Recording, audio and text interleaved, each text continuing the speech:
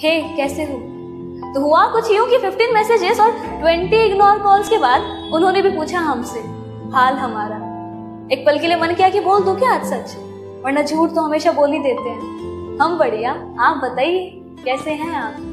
मन था हमारा, मन था हमारा ये कहने का, क्या करोगे जान के क्या करोगे जान के हाल हमारा?